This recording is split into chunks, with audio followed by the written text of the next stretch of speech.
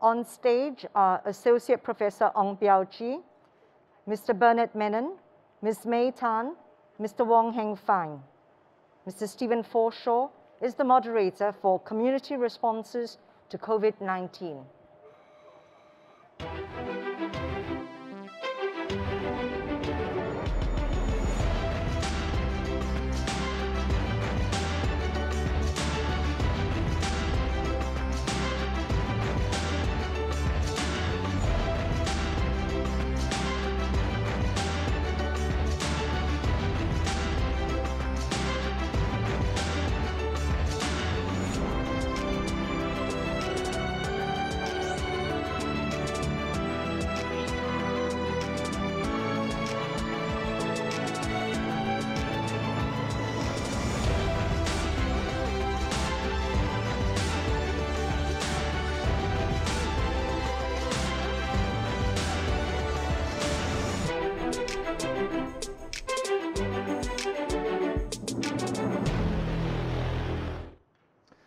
Good afternoon, ladies and gentlemen, and thanks for joining us again for this, the second panel in this afternoon's Temasek Shophouse conversation.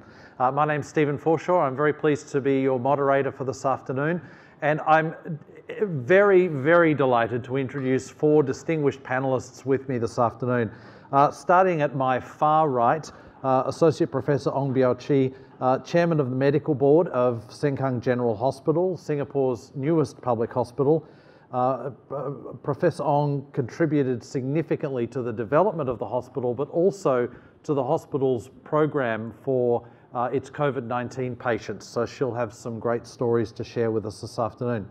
Uh, Bernard Menon, the Executive Director of the Migrant, Re- uh, Migrant, pardon me, the Migrant Workers Centre here in Singapore, uh, itself a joint initiative of the NTUC and the Singapore uh, National Employers Federation, uh, he also serves as a director of uh, NTUC's migrant worker segment. Bernard, thank you for joining us.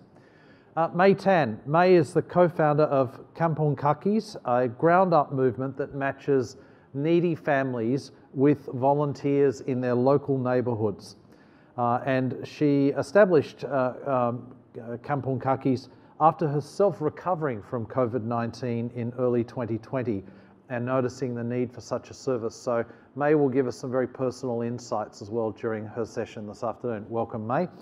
And uh, on my immediate right, uh, Mr. Wong Heng Fine, the Group CEO and Executive Director of Surbana Jurong, one of Asia's largest urban infrastructure and management services consulting firms, 16,500 staff across 40 countries. Himself a distinguished engineer and graduate of, uh, of um, NTU and now an adjunct professor at NTU in their School of Mechanical and Aerospace Engineering. Uh, Heng Fine, thank you also for joining. I think three things came out of the last panel that are worth picking up in this panel. Um, Sean opened by saying that viruses don't respect borders. They don't respect ethnicity, they don't respect language at the end of the day, they transmit very easily and very widely across communities. Professor Tan said that science has become very international. The sharing of experiences from scientists across the world has put us in a much better place than we've ever been in previous pandemics, particularly of this size and scale. But I think it was Dr. Jamila whose point brought it home to me in how we frame this panel. Solutions must come from communities. Where we do well, it often arises because the communities themselves, uh, because of the communities themselves and how they acted.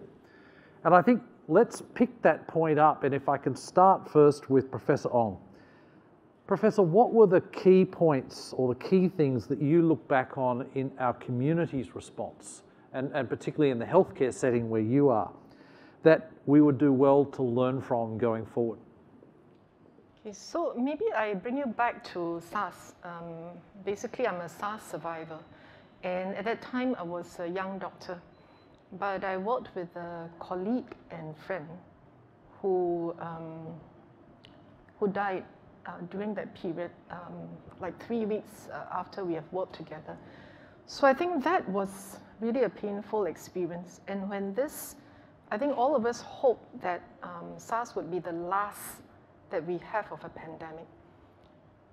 So I think when it first started, um, many of us really had a heart-sinking feeling, especially when uh, SARS gave us the experience that um, there was a lot of fear about healthcare workers and, and our families as well, right? So, you know, we looked back and then I asked myself, what did we not do well during SARS that we should do better this time, right? And I think we really have learned from it, and I must say, credit to the whole system.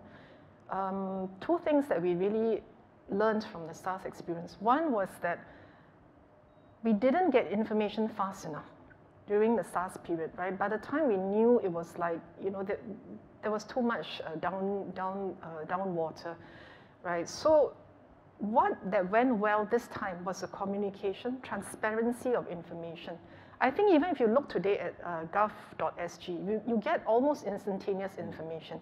I think that is very, very laudable, right? Now, the other thing that I think we have done really well from that experience, which I think much of the world maybe that has not experienced SARS didn't have this opportunity, and that's the fact that we have um, no shortage of supplies. I think at no point in time did I feel that I'm compromising my safety or my staff safety because we were short of something or other. And at no point in time did we feel that we were compromising patient care because we didn't have uh, an, a piece of equipment that was necessary, right? Um, in fact, I had a UK resident who was with me, one of our doctors, who helped manage the first patient that we had. And um, he went home, right? And two months later, he texted and said, you know, I'm now COVID positive because I manage a COVID ward in, in UK. And he said, I now appreciate why you were so anal and so strict about your SOPs, right? And I said, look, here's the whole SOP, please take it and use it, yeah. copy, share, right? But I think quite quickly we realized that um, maybe if you bring out the first uh, picture for... First slide, please, thank you. Okay, so this was, uh, you know, we had no difficulty getting everybody on board, even though it's Chinese New Year coming up to one year. And I have to say, quite um, embarrassed myself that despite this, this was when hospital was being built, 2017, 2016. We had 5,000 workers on site, right? But I never asked the question, where did they live? So much so that when we saw this, okay, initially it was we learned that uh, unlike SARS, COVID is a community thing. SARS was very much a hospital disease, right? But this was a community disease. So initially, when we first saw patients from the community coming in, it was something like, of 50 swabs, I get maybe one or two positive.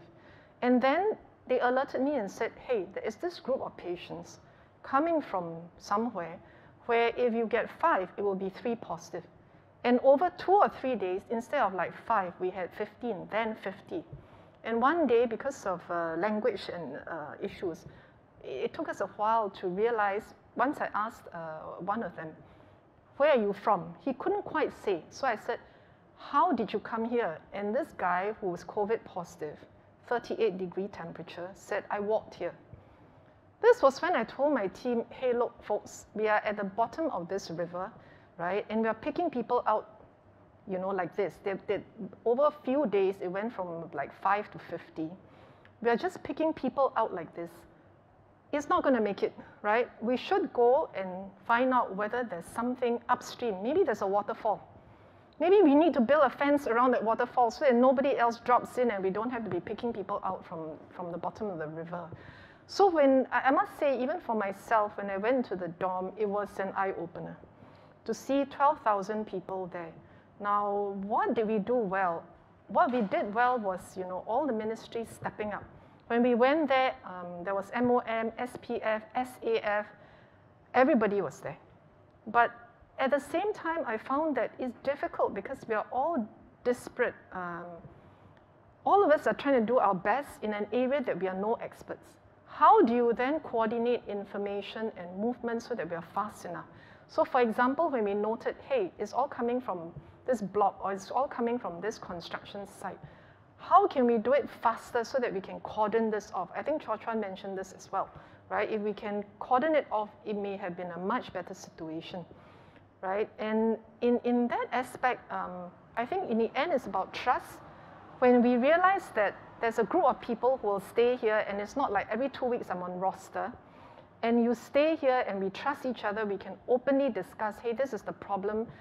You know, if I want to do it like this, uh, this is your problem and you can't do it, okay? How do we discuss what needs to be done from the medical perspective as opposed to the DOM operation, as opposed to um, top-down uh, orders as well? How to make that balance so that we can let the ground staff have some uh, say and get that information together as well as let the um, whole nation and the whole uh, uh, government, in a sense, have consistency and uniformity, right? In the end, I think it's all about trust. And um, I will uh, just say that everybody contributes, right? This is one of the workers who came excitedly and showed me his two-day-old baby. And um, just very privileged to share these moments with them, right, when they build trust. And I think everybody contributed. The guys in yellow are actually uh, dorm residents. They sort of said, hey, rather than sit here and do nothing, what do you need? Let us help. Mm.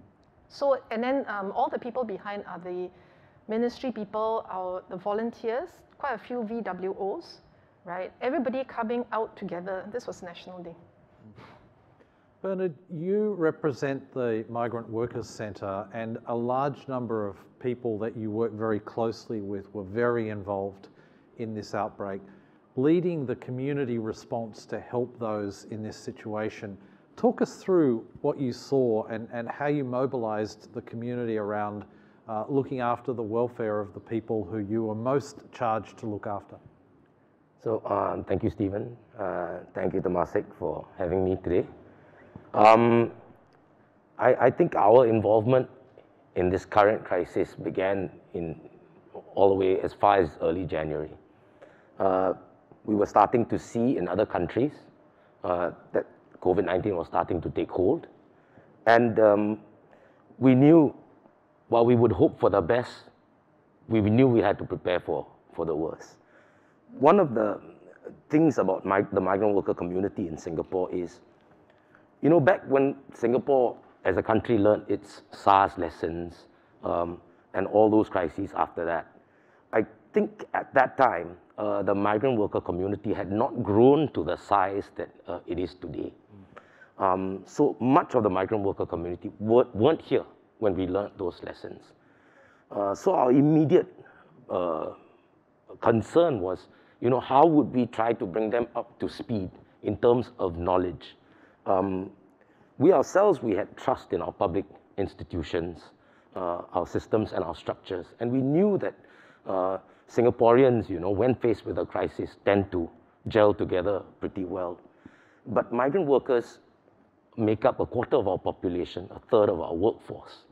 Um, and, you know, looking at how COVID was starting to develop, if it were to take hold in a migrant worker dormitory, for example, uh, then we could have in our hands uh, beginnings of a major crisis.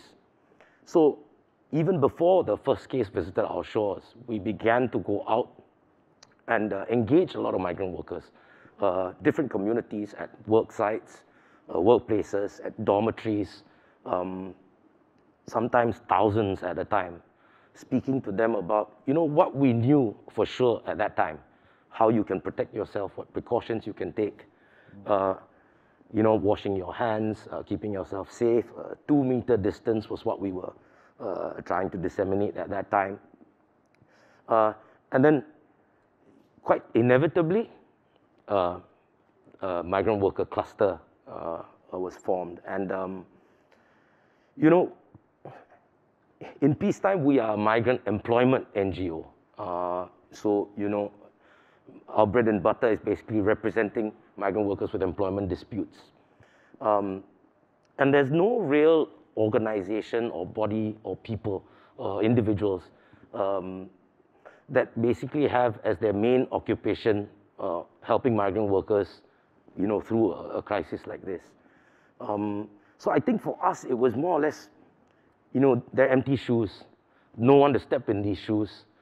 You know, what, what can we do? And uh, we pivoted much like a lot of businesses, we pivoted very quickly too. Uh, so our, our chief concerns began to become things like how do we get enough masks in mm. uh, for all the migrant workers in all the dormitories? Uh, what do we do about food um, and all these things? And uh, yes, we, we did trust our, our, public institutions that, you know, the Ministry of Manpower, uh, Home Affairs, the armed forces would be brought in, that they'd look after the basic requirements.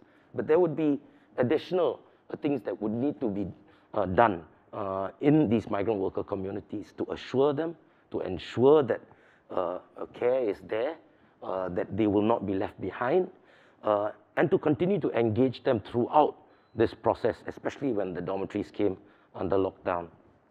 Um, so I mean, I, I, am very grateful that uh, the Migrant Worker Center ourselves, in, you know, in, in, in doing our uh, normal uh, advocacy for migrant workers, uh, we very early realized that, you know, no one uh, can do anything alone. And so our chief strategy would be to work as an aggregator, a partner with stakeholders, partner with corporates, and also uh, form very tight relationship with our clients, so the migrant workers themselves. So we quickly immersed ourselves in migrant worker communities prior to COVID, um, and also worked with a lot of partners. And all this came back to revisit us uh, when the dormitories uh, uh, you know, got involved in this crisis. Mm. So all the supplies, uh, we worked with corporates to acquire masks. We work with Temasek Foundation, in fact, sanitizers, all which would, we would then supply to the dormitories and the workers that were there, numbers roughly about 400,000. Uh, on top of that, uh, we, we had actually formed an ambassador network of migrant workers themselves, all living in the dormitories. And, uh, you know, we never knew how valuable they would become until the dormitories came under lockdown. And I'm sure all of you would have read in the news, every time, you know, somebody refers to ambassadors at the dormitories, helping with the distribution of food, helping to ground sense, to see where the problems are, who was infected and things like that, working with the fast teams on the ground, those ambassadors they refer to are MWC ambassadors, 5,000 of them that continue to serve us even now. Um, so I, in conclusion, I, I think uh, I'm a lot like Prof. Ong. Uh, I think in some areas in our response to COVID-19, lessons from SARS maybe are invalid in terms of helping us. But uh, the one thing we always have is our trust and our unity our faith in our public institutions, the fact that our NGOs and our people uh, in times of crisis have this amazing ability to um, overlook where we disagree and stand together. Um, and I think that struck me uh, through the whole experience as the one lesson, the one, if I may use a bit of a cliche, secret weapon that we have um, that right. perhaps maybe it's not so easy to, to uh, get, and perhaps other people may not have uh, something as strong as ours. Great, thanks, uh, thanks Bernard. Ladies and gentlemen who are watching us online, we are open for questions as well, so please use the, uh, the, the facilities to ask your questions. I'll see them and we'll have some further discussions with the panel with your questions as soon as they start coming in. Let me turn now to May. May, you have a very personal and very community oriented perspective on this. How did you see it? And some of the points that you've just heard, for example, Bernard make about the importance of community coming together. You're right at the pointy end of that. Talk us through what it's meant for you and, and what you've observed in the community doing what you've been doing since, since COVID started. Yeah, sure. Uh, so I actually have some slides, um, I can flash that. Yeah, so as uh, Stephen mentioned, I was actually case number 827. And after recovering from the hospital, I wanted to do something for the community, especially the marginalized groups. And that's where two of my friends and I came together to start Kampong Kakis. And as Stephen mentioned, it's a neighborhood buddy system. So why is this buddy system important? And why you know, is this important for a future pandemic as well? Uh, firstly, uh, when the circuit breaker started, or lockdown for international friends who, who don't know the term circuit breaker, um, a lot of the stay-alone seniors, they were at the tail end of quite a broken telephone line. Prof. Ong, you mentioned we did do a very good job with disseminating information through gov.sg, a lot of our digital channels. Uh, but these seniors who used to get the information from hanging around coffee shops, you know, hanging around um, senior activity centers, they were not receiving updates on new measures uh, and, and, new regulations. Um, so with this buddy system, we're actually making sure that someone who is more savvy, who is able to receive news from online channels, is able to convey that to our seniors. Um, I think in the previous panel, they mentioned that education is really important to make sure the community responds well to COVID-19 or future pandemic. And uh, a lot of these seniors were not being educated. So our Kampong Kakis are actually, the volunteers are actually uh, very much like our educators to our seniors as well. Um, so just some pictures. These were taken more recently of our volunteers and the seniors. Uh, the second thing why this neighborhood buddy system was so important is that it allowed um, individuals in the community to build that kind of trust. Uh, and, and, as you know, both Prof. And Bernard mentioned, trust and unity is really important in this time. Um, we wish this was started earlier because then our seniors would have someone that they could easily call upon in times of a pandemic to say, hey, you know, what's going on? Um, and very often, uh, you know, in a pandemic like this, and we've seen in news, right, uh, mental health issues tend to escalate. Uh, I think the news reported that SOS hotline calls increased 30 to 35 percent. Uh, family violence cases, I think, increased um, about 22 percent during the April to May period. Um, so our kampong kakis are very much like the eyes and ears uh, of our marginalized groups on the ground as well, and they're able to detect signs of distress uh, early on. And you know, our government has done phenomenal jobs, and you know, all the community groups together as well in meeting the basic needs, like um, providing, you know, food, meals, um, masks, you know, sanitizing packages, financial assistance, uh, especially. But uh, I feel like the mental health and psychological needs were not as well met.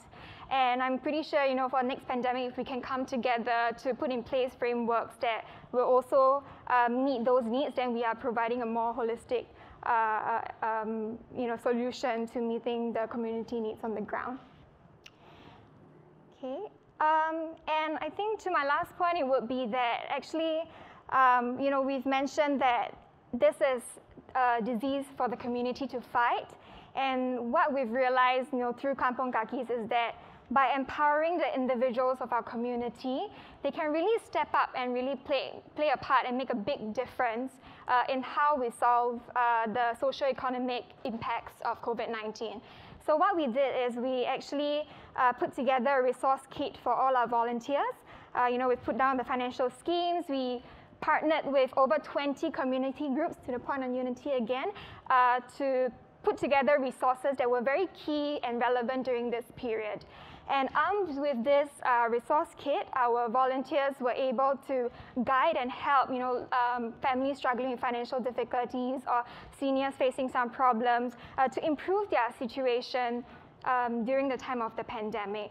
And I think more and more now our volunteers are also becoming like an extra pair of eyes, ears, and very helpful hands to our social workers uh, because they tend to be on the ground, whereas our social workers can then take a step back and look at policies, right? Um, and we find that we are actually building a more resilient community in that way because we are now a bridge for the general public and these marginalized groups and uh, making you know, us more resilient for a future pandemic touch with. Yeah. Great. Thank you. Great. Thank, thank you, May. Fine, you represent an organisation that's used to designing cities and working for years to build infrastructure. But in a matter of days, you came together as a team and built a remarkable community care facility. What was the key learning for you in, in applying your own efforts uh, as a leader, uh, but also in what you did to, to help the community? Well, uh, thank you, Stephen. I think uh, looking back, when we were first tasked to, uh, you know, look all over Singapore at all the facilities and repurpose them into healthcare facilities, I think uh, uh one thing, you know, that struck us, uh, you know, very deeply was that every facilities that we look at uh, were very single purpose uh, building. And to repurpose them into something else was extremely difficult. So we took that as a lesson, and I think, you know, the things that we came back with was that in future, you know, when we do facilities, you know, whether it's urban or infrastructure, we better look at how we can repurpose them into some other use, yeah, uh, going forward. So just let me, maybe you can bring up the slide. Sure. Yeah. So, you know, I mean, we did the, uh, the expo, uh, and I, I will tell you a little bit about some secret, yeah, that a lot of people doesn't know. Uh, you know, we went to the National Stadium, yeah, and refit out with uh, tentages, yeah. So, I, you know, uh, DPM talk about agility, collaboration, yeah. Uh, I would say that today, every of the facilities that we have done, without the collaboration among the local partners as well as overseas, uh, we wouldn't have been able to complete it. Yeah. And one of the key things that was really severely missing in all the facilities that we've seen was common toilets. Yeah. So this is an example where we design a portable toilet that we can, you know what we call it, plug and use. Yeah. Uh, so we, today we have about we have done about 300 of them yeah, and deploy them across the island so that we can refit all these facilities and you know of course offer safe yeah, and secure uh, facilities for, for the people. The secret about the thing is that you know the speed that we do. Yeah. Uh, I remember on the 29th of March uh, on a Sunday, Dylan gave me a call yeah, and said, hey, you know, why don't you go down to Expo and, and take a look?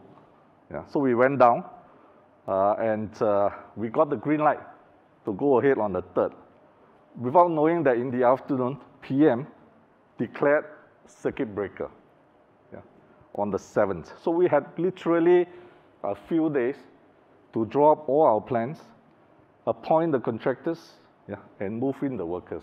Yeah. Uh, and the first two halls uh, was operational really on the 7th. Yeah. Uh, but we didn't, didn't have, uh, we couldn't admit the, the patients because we got to pass the NCID uh, approval. Yeah. So it took us a couple of days. Uh, and on the 10th, we received our first patient at 8 p.m. Yeah.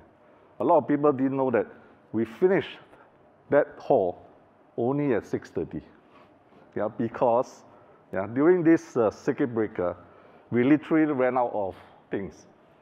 This was the first time when we do project that even with money, we couldn't execute. Yeah. So with the help of Boon Hyung, we got in touch with the Indonesian embassy, who then got us manufacturers in Indonesia yeah, to turn out our beds and so on. Uh, we called up uh, Kian Peng from NTUC to open up his warehouse so that he could uh, uh, get us, you know, the plastic containers because we ran out of all the cabinets. Yeah, there was no cabinets uh, in Singapore. So we got to improvise, you know, you know drilling the holes uh, in the cabinets because we also have to consider the safety of the workers. Yeah. If any one of them have a fight over lost items, we'll be in deep trouble. Yeah, so we had to go and drill holes in the cabinets and put padlocks. Yeah. And all this was done during uh, circuit breaker. Uh, and as you can see, you know, without workers, we can't do anything.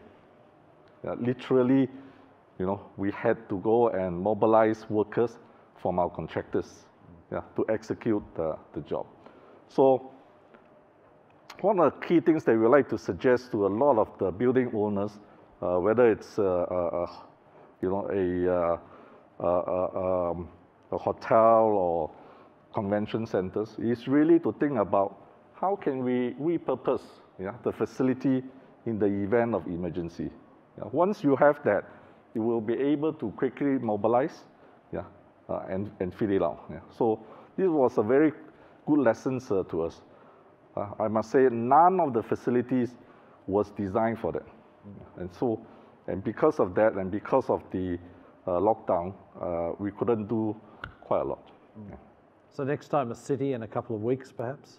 Yes. oh, of course, it changes our way of thinking. eh? Bernard, how important were the community care facilities for the migrant worker population? So um, I, I actually wanted to make the comment myself uh, because um, you mentioned that uh, they were ready for on the 7th of April. Uh, in fact, uh, you know, if you think about it, in, in, in a real world situation, it's incredible that they got that ready. The first dormitory came under lockdown under Gazette on the 16th of March. So you're talking about getting that facility ready for 8,000 occupants three weeks from when the first dormitory came under Gazette, which, which happens to be S11, Yeah. where Prof. Ong was active also. Um, so they had 14,000 workers, uh, all living in close commune with each other, which, you know, for the purposes of COVID-19 would be dangerous. And there was an urgent need to be able to start segregating and cohorting workers. So, um, you know, I'm, I'm absolutely amazed at how, you know, our different uh, communities, whether it's a business community, the people sector, uh, the government agencies, how everybody came together. And uh, thankfully, Mr. Wong, you also mentioned uh, Kian Peng from NTUC, so which is, you know, obviously related to the organization I represent. Um, everyone came in and, and played a part, uh, knowing that there was a crisis and it was critical that we act immediately. So, um, yeah, I, the community care facilities for the purposes of cohorting uh, as part of the uh, fight against COVID 19 were absolutely critical, Stephen.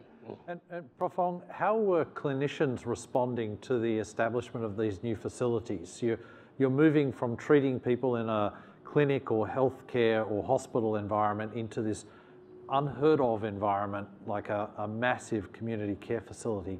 Was it challenging? Um, okay, so in fact, um, I think Bernard brought, uh, brought up this S11.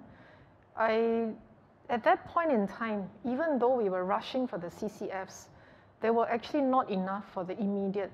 And in S11 itself, we ended up isolating a, thousand, a thousand five hundred within S11 it, itself, right? That's why when you asked how did the medical people react to this, of course with great discomfort, right? When I spoke to my guys and, and they said, what, you're gonna put people together like that, who's gonna take care of them? Is it gonna be 24-7? Is it this, is it that? Okay, the questions won't end. But we said, look, this is the best that we can do at this point in time. And I have to say the community came in because like you say, there's, there are no workers to be found. So people actually stepped up themselves and said, look, we can do this. We can get the tent up, right? To make this 1,000 bedded isolation facility, we did have to move people, people around and their belongings had to move somewhere, right? Um, how were we going to do that? People worked 24-7 even on the ground and they were willing because when, we, when I said, look, I'm sorry, it's a weekend. I know you haven't had a break. Do you mind working this weekend? Because one day means a lot. There, there's so many people who are going to get infected in just one day. Yeah. And the guys told me, look, don't apologize. It's our community. This is where we live. We will do it. Just tell us what you need and how we're going to do it. Right? So that is really very, very uh, impressive, I think. So what we're talking about here is the community response when it first happened. Let me touch on one of the questions that, that came through from one of our participants online. It seems that transparency, trust, connections underpin many of the early success stories in reaching out and caring for the vulnerable. Uh, but these are not our natural behaviour during a crisis when our first instincts are often to look inwards. Uh, what's the piece of advice that you can give to build and nurture this culture, to keep that culture of always looking outward instead of going back inwards. Um, let me maybe start with May, if I may, on this. Um, the, the community aspect of this, how do you keep people focusing on others instead of looking at themselves? Yeah, I think that's really important and a great point.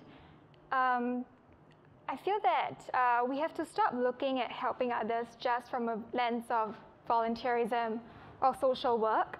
And uh, I think many of our volunteers that have stepped forward, uh, they see themselves more as a, a, friend helping, you know, a kind neighbor. it's more about building uh, neighborliness, which can be cultivated, you know, from school, from um, parents teaching their children uh, to look out for their neighbors. I think for myself, my parents always, you know, helped to deliver food to one of my stay-alone seniors in my neighborhood. Um, and that's where uh, that kind of thinking and uh, selflessness uh, sort of started bubbling in me. Mm. Yeah.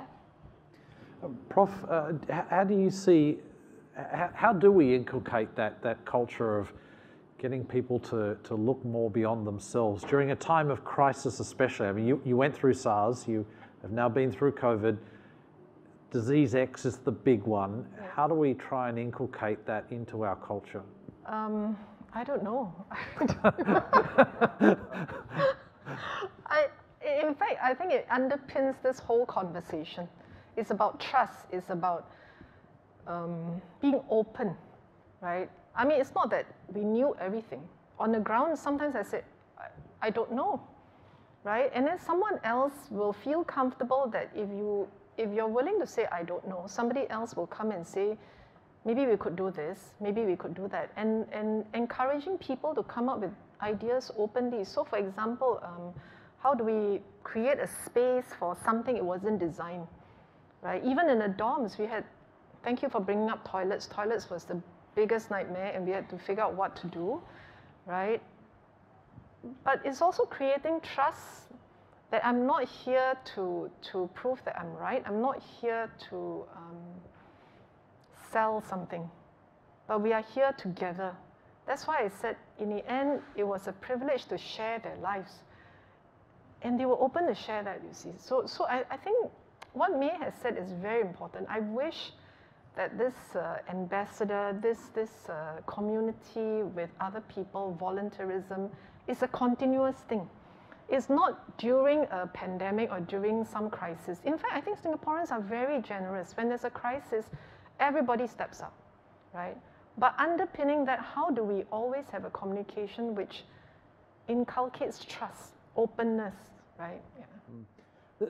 If I can build on that, that point of trust and openness uh, and, and come to you, Bernard, with this question from Lin Tang, who's asked, can you say how lockdown conditions were like for the migrant workers and how we supported their physical, emotional and mental well-being?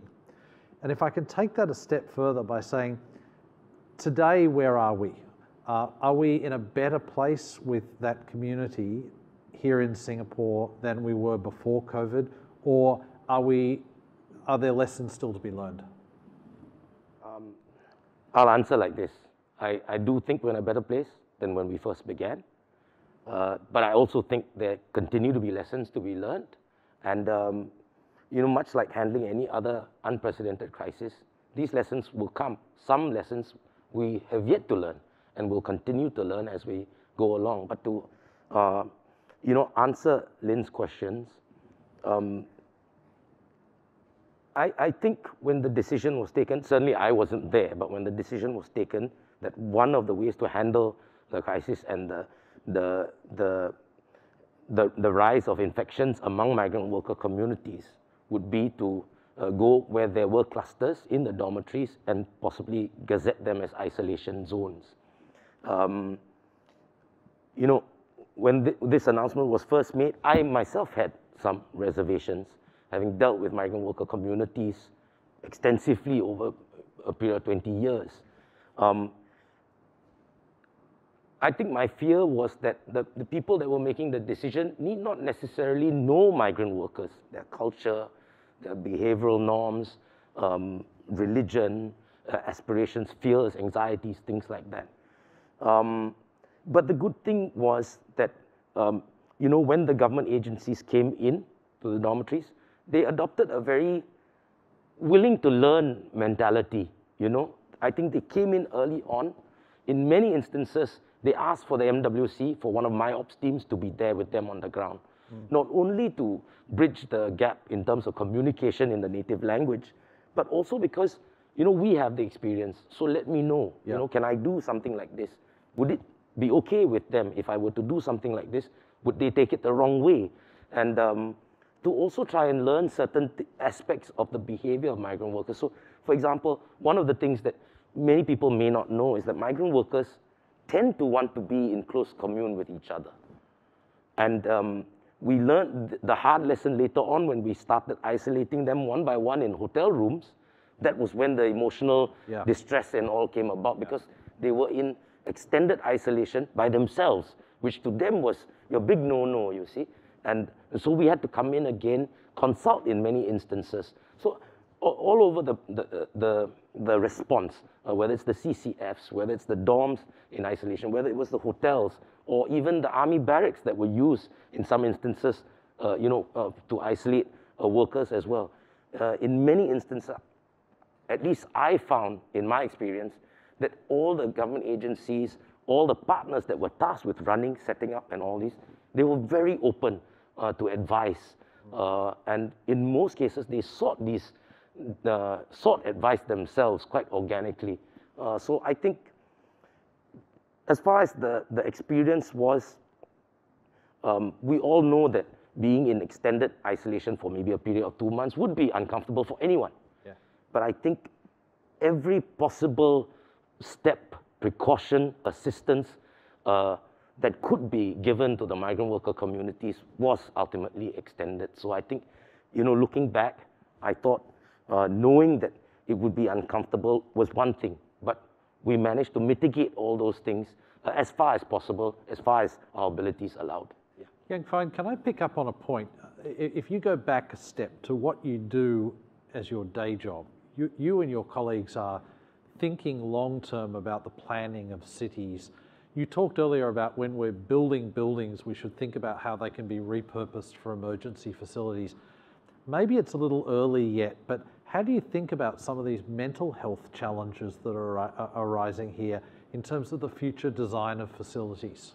Well, I think uh, you know through this period, we literally learned quite a lot. I mean, just to give you an example on the migrant workers, you know, we were told that one of the biggest requirement that we have to set up was a very good Wi-Fi system, because they wanted to download, yeah, instantly the movies and so on, yeah, and that was not the top of our priority. Yeah, we were worried about fire safety, you know, uh, you know, whether there will be enough showers uh, for them, yeah, uh, and then you know where they're going to wash their clothes, yeah. So we set up temporary laundry facilities, but high, Wi-Fi was never on top of mind. So we got to scramble, yeah, to go and make sure that we fill up in every hall a very superb uh, Wi-Fi system for them, yeah.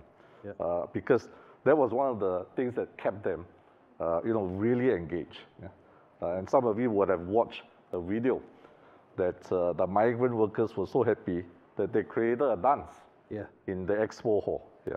yeah. So, you know, I think some of these things, uh, you know, are really the joy that we take when we look at uh, uh, doing our designs and so on. So I guess going forward, when we look at uh, designing of cities and so on, we really need to understand the culture, yeah, uh, and the requirements because certain things to us are important, uh, but uh, others are even more important to uh, to the community. Yeah, so it's all very well to look at hard infrastructure, it's all very well to look at clinical procedures and so on, but culture, psychology, mental health impact are going to be increasingly important. That's probably one, you, I think what you're saying, all of you are saying is that's probably one of the big takeouts from COVID 19. So, yeah. on uh, that point, I think we cannot underemphasize the power of the people themselves. So, despite everything that we do, what I realize is um, among themselves, they actually had a very big social group. And at one stage, this guy in, in a dorm had a social group of about 25,000 followers. And that's where we made use of, for example, volunteers, my doctors who spoke the language became a guest, and that's how we disseminated um, information and education. And it's because it's hosted by one of their own people.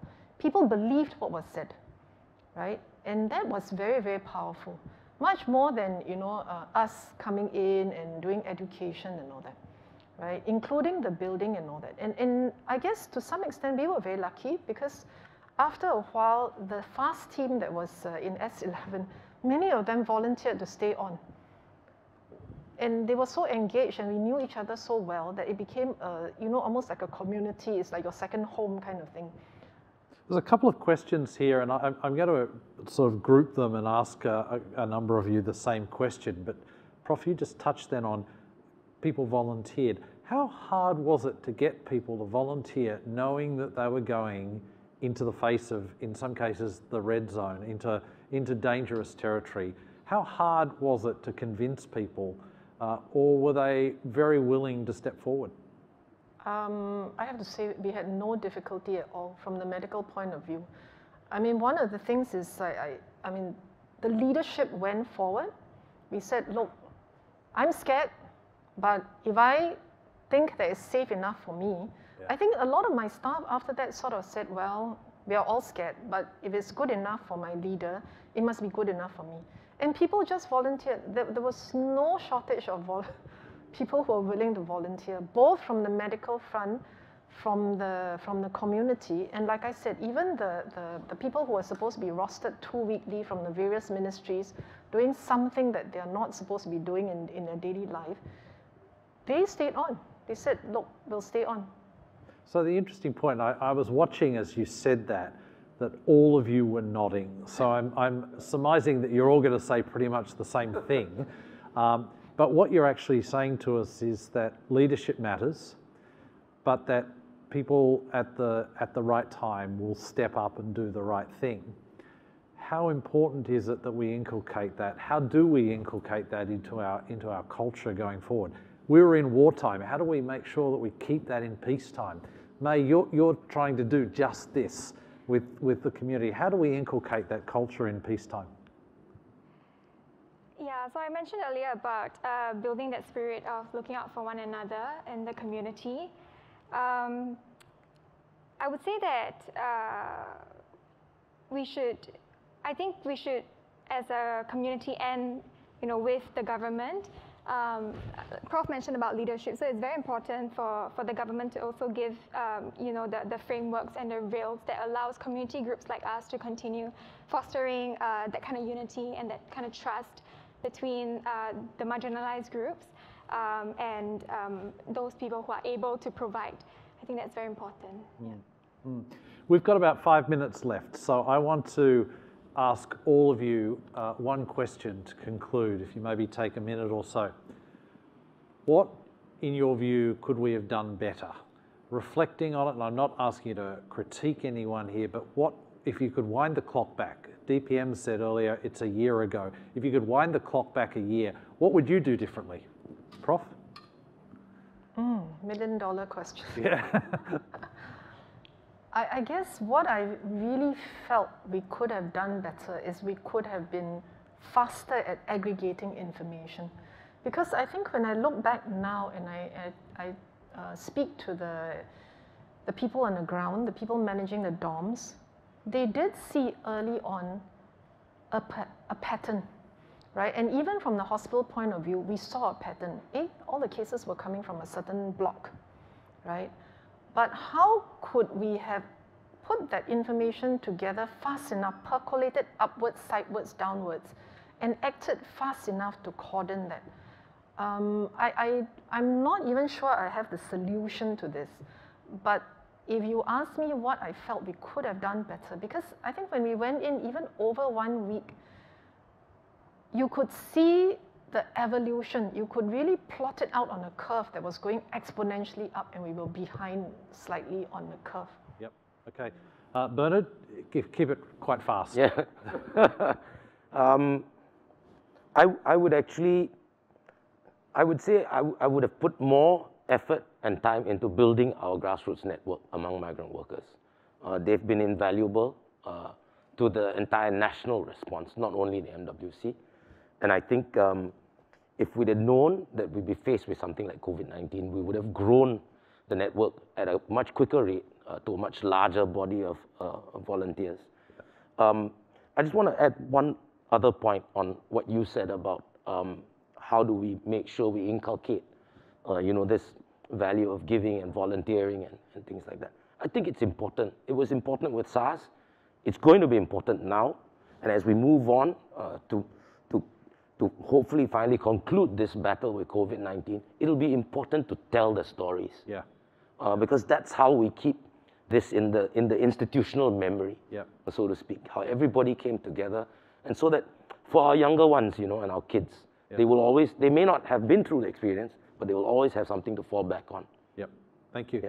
Heang Fine, about 60 seconds for you. What, what, if you could wind the clock back a year, what would you want to see done differently or do differently yourself? I, I think uh, going through this, uh, you know, quick decision making uh, without that uh, fear of uh, making mistakes is very crucial in a crisis. Yeah, uh, you know, just looking back, I mean, we didn't know what the virus is all about. Yeah, uh, so to us, we've all been trained to be very mission focused. Yeah, I mean, we, we, we set ourselves, we must achieve this. Yeah, and so we are, we are very dedicated in doing that. Yeah. Uh, so really, in getting that uh, decision made quickly, I think is crucial. May, a very personal insight to close it all off. It's been a very challenging year for you. What would you have done differently a year ago? Yeah, I would say I would not hesitate to spend more time in the community. I think before COVID, personally, I, I felt that I didn't do enough to really, you know, um, build the kind of community around me where I live.